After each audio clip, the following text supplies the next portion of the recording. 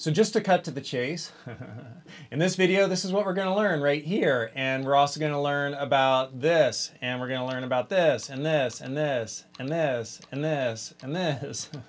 and, uh, and when we run this code right here, um, by the way, you can find this code by going to uh, GitHub, goes to 11, learn to code Go version 3. All the links will be down below, plus a coupon code for something going to tell you about in a second. But if you come to this repo right here on GitHub and then go to the 000 uh, BRBK go tour 01 string Unicode. You can get to all the code you see in the video, but this is the code. We're going to rewrite this. I'm going to explain it, and we're going to learn about ASCII, Unicode, UTF-8, and runes. And when you run this code, just so you could see the output of that, I'm going to run this, and uh, there's the output. And so that's what we're going to see, right? All this stuff here in this video, so you know what we're going to cover. All right, so first thing I want to tell you about as we get into this is Bill Kennedy. He's my mentor, my friend. He's the one who taught me Go. He's amazing with Go. And at the official Go website, there's this Go tour, which you could go through. It's pretty great. But then Bill, since all that code at the official Go tour is open source, Bill took that code and he built upon it. he created the ultimate Go tour. And so this is his perspective, and it's a great perspective on working with Go, and it's a tour you could go through. We're going to go through it in a series of videos. The link to the playlist is down below. And this tour will go through, and we're going to go through language mechanics, and we're going to go through composition and interfaces and concurrency and generics, and then also algorithms, because recently I had a student on YouTube uh, say, hey, can you do some videos about algorithms? They're coming, they're coming. Click on the link to the playlist. Maybe they're already there and you can watch them.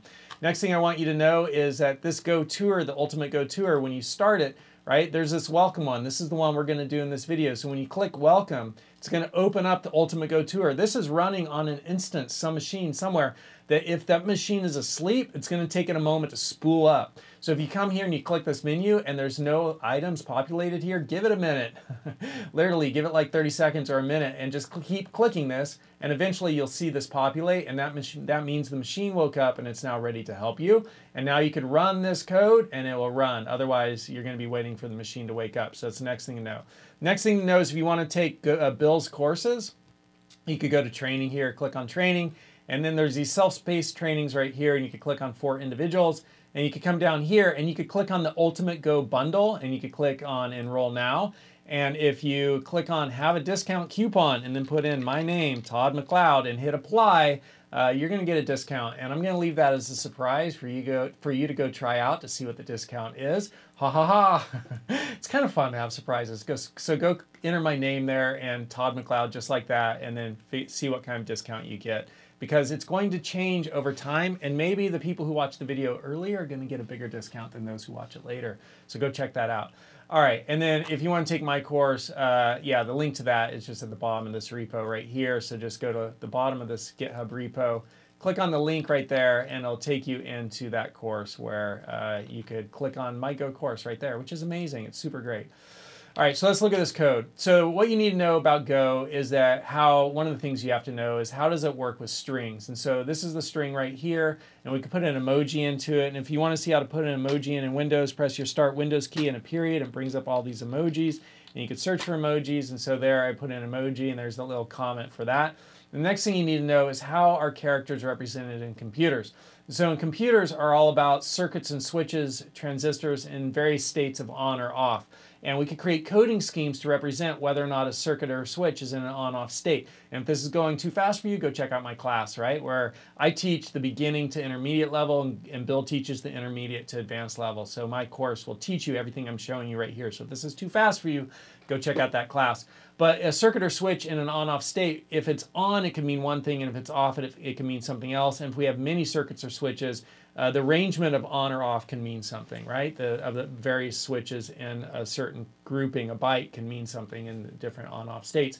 So the classic example for illustrating this is the porch light on Halloween. In America, we have this festival, this holiday called Halloween, where kids dress up in costumes and they go around to their neighbors' houses and they trick or treat, where if the porch light is on, if the circuit switch is in an on state, and that light's on, it means come trick or treat at this house. And the kids, kids can go up there and ring the doorbell, and then the person who lives there will give them candy.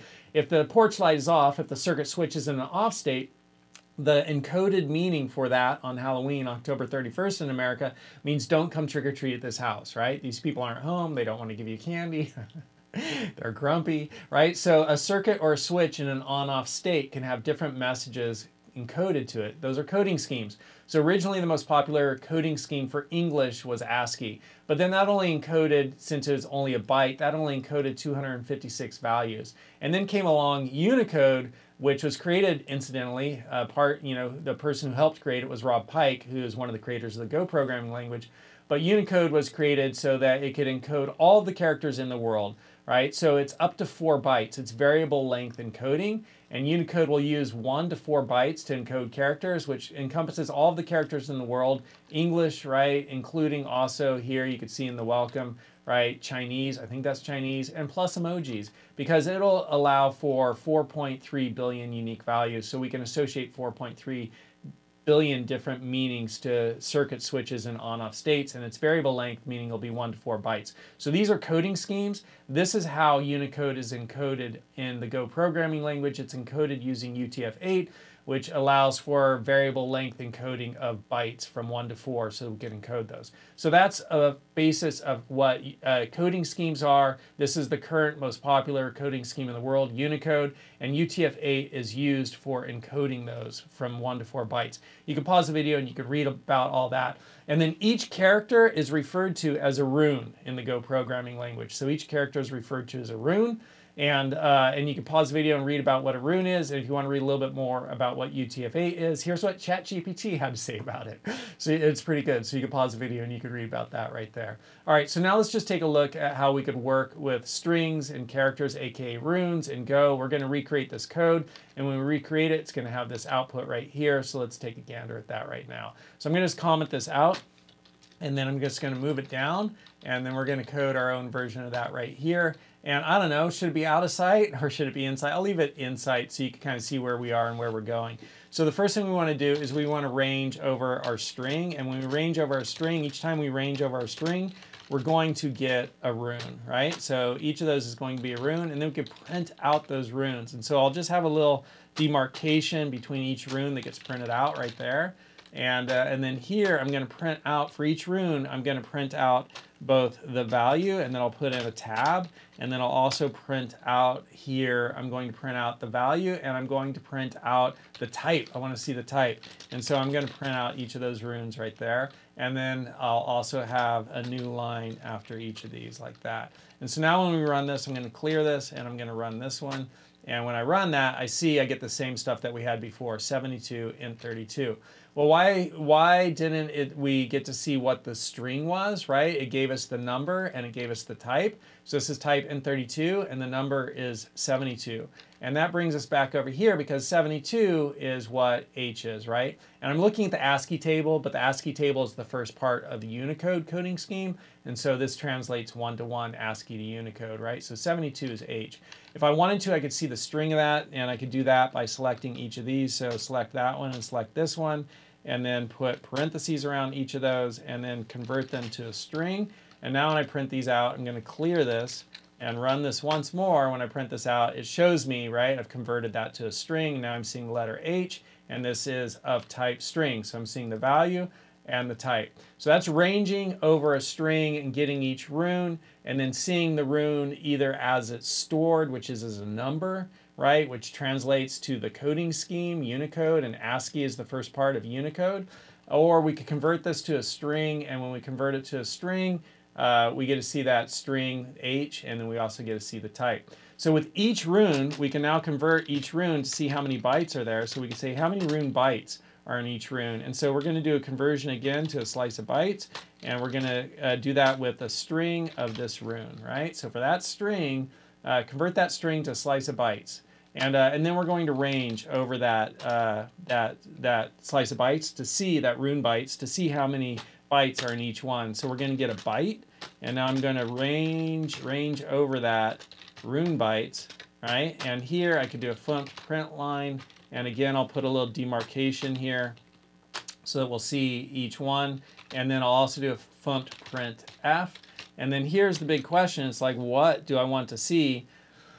when I range over this. And, uh, and so just to refresh my memory, I want to see the value, and then I want to see the hexadecimal, and then I want to see the decimal, right? So I'm going to see the value, and then do a tab and I want to see the hexadecimal and then do a tab and then I want to see the decimal and we're going to do that uh, for the value I want to see the value on the the rune that we're printing and so the rune is going to be that one right and uh, and then I also want to see here what is the byte. And so we have byte and then byte. So that's what I want to print out right there. And then put a couple of new lines at the end. So uh, after each one uh, we've got a new line. And I'm just thinking about that for a second to see if everything looks good, and that looks good to me. All right, so I'm going to comment these out right here because we already saw sort of that, and now what we're going to do is just take a look at each byte for each character. So this will show us the character, and then this will show us the byte, uh, you know, for, for however many bytes are, are there for each for each character, right? Because we're ranging over each character, and then for each character, each rune, we're getting all the bytes, that and then we're ranging over that slice of bytes, and we'll see how many bytes are there for each character. That's, that's what we're doing. Now I'm going to run, clear this, and then run it. And, uh, and when I run it, you can see here, right, the rocket had four bytes. And I want this on the outside, which I had before over there. So I'm going to move that up like that. There we go. And run it once more. So the rocket was made up of four bytes, and you can see those four bytes there as decimal, 240, 159, 154, 128, or hexadecimal. Those are the representations in hexadecimal. And then each of these characters here are made up of one byte, right? And those are the numbers for those bytes. So that's pretty cool. It's a really super useful thing to know. That's an introduction to the Ultimate Go Tour and this welcome page here where we talk about characters in Go. And, uh, and then where you could go to see all this code uh, is right there and that code is all in, well, we'll just look at it right here. That code is all in this folder right there. And then you could take this course if you want to grow your skills. And, uh, and then also if you wanted to, uh, you know, go from the intermediate to advanced level, you know, if you want to go, what, if you want to go from beginner to intermediate, take my course. and also there's some great stuff that's more intermediate to advanced there. And if you want to go from uh, intermediate to advanced even more deeply, you could go in here, go to training, and then go to the for individuals. All the links are down below. I hope you enjoyed this video. It seemed like there was one other thing I wanted to say, and this was it. it just came back to me. Is I recently was hired to help a Fortune 500 company hire Go developers. Two things actually. Uh, who also had expertise in PHP. They needed to have expertise in Go and PHP. And I was surprised when I helped interview the, I evaluated people with expertise. I evaluated their Go expertise. I was super surprised to see how many people were saying they knew how to program in Go and they didn't understand fundamentals like everything I just went through right here with you, uh, or the difference between like uh, uh, an array and a slice and how they're related, right? And um, and so that really surprised me. The vast majority of them, like 90% of them, didn't know the differences, know these things like the stuff that you just learned right here.